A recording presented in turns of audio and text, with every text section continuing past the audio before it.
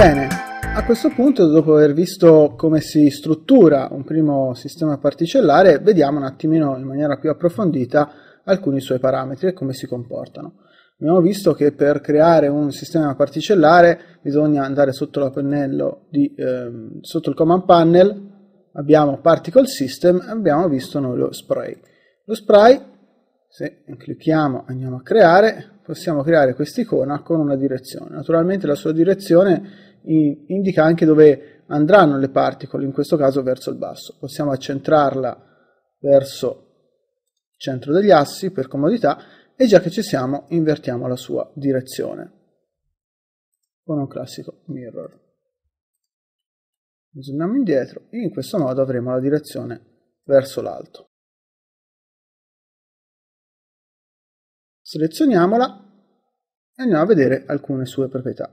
Abbiamo visto come non siano legate la quantità di particelle che abbiamo in viewport a quella del rendering. Difatti se noi abbiamo un 50%, un 50 che indica praticamente il quantitativo, il 50% diciamo, dei, delle particles in render, avremo meno particelle in fase di visualizzazione, ma avremo lo stesso quantitativo, che in questo caso è 100, in fase di rendering. Naturalmente la dimensione, dei, la dimensione delle varie particelle dipende anche dal drop size, in questo caso essendo molto lontane, essendo molto piccole, non le vediamo molto bene, quindi andiamo a aumentare la sua andiamo a aumentare la loro dimensione e vediamo come infatti aumentino. Abbiamo anche visto, abbiamo anche definito come ci sia la differenza tra tretaedro e facing.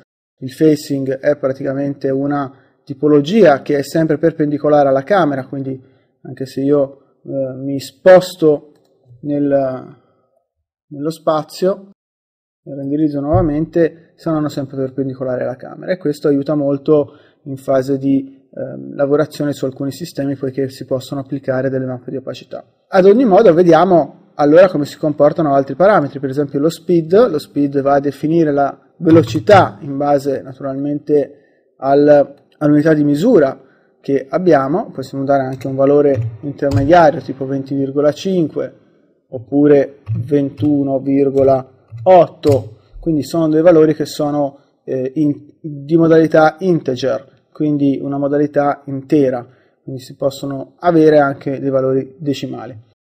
E poi abbiamo la variazione. La variazione in questo caso va a interagire anche sulla direzione eh, verso l'esterno. Ora magari visualizziamo a dot, chiamo il 100% e vediamo come di fatti questi si dispongano anche verso l'esterno, naturalmente con una variazione che dipende, ehm, dipende anche naturalmente dalla velocità. Se è maggiore alla velocità andranno anche nel senso opposto, quindi andranno anche sotto la nostra icona. Abbiamo anche la possibilità di far partire nel tempo a un tempo differente dallo 0, quindi se io vado a impostare 10, nei primi 10 frame non avrò l'emissione di particelle e poi avrò l'emissione di particelle dal decimo frame in avanti. E la loro vita, la loro vita va a indicare quando moriranno, quindi quando dal frame 10 la prima particella che viene creata durerà per un tempo di 50, quindi per 50 frame, e invece le e così via per le altre. Naturalmente, essendo eh, non sappiamo qual è la prima particella in questo caso, quindi non sappiamo qual è la prima particella che va anche a morire, ma di sicuro, come vediamo, se aumentiamo questo valore più lunga sarà comunque la traiettoria e lo spazio di, um, di creazione delle nostre particles. Notiamo anche che però più eh, è grande questo valore, meno particles abbiamo, poiché questo valore qua definisce anche la... questo valore è strettamente collegato al render count, nel senso che se io devo creare 100 particelle in 100 frame, creerò una particella a frame. Se invece devo creare 100 particelle in 50 frame, creerò due particelle sostanzialmente per ogni frame e così via. Quindi avrò più, frame, più particelle per ogni frame. Naturalmente possiamo dare anche un birth rate, quindi in base al rate avremo una costruzione, un'emissione di particelle, quindi in base a 30 ogni frame avrò ogni 30 frame avrò la costruzione di particelle.